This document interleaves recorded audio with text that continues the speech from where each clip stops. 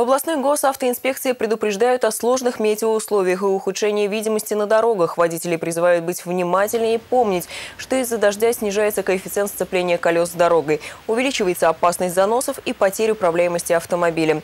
В несколько раз возрастает тормозной путь, поэтому в ГИБДД настоятельно рекомендуют воздержаться от резких маневров и торможений и соблюдать скоростной режим. Пешеходов также просят быть осторожнее, особенно в темное время суток.